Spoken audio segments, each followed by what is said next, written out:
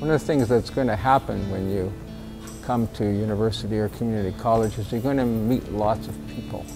You're going to make new friends.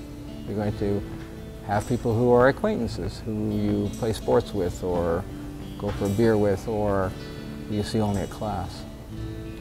One of the most important things is that as you develop these relationships with people, that you keep in mind the core construct that is at the heart of every healthy relationship.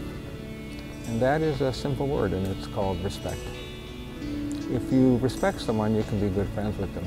If you respect someone, you can be a lover. If you respect someone, you can be an acquaintance.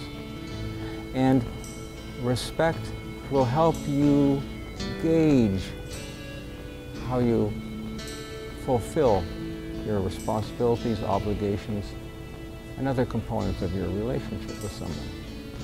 You know, making new friends, new acquaintances is lots of fun. But one of the things that also happens, there are breakups with friends and acquaintances and with lovers. And you may end up breaking up friendships or relationships with people that you've met. But you may also end up breaking relationships with people who you've left behind or who have gone elsewhere and who you haven't seen very much for months. Breakups also need to be handled with respect. They're part of life, they're part of growing up, they're part of learning and adapting. They're difficult.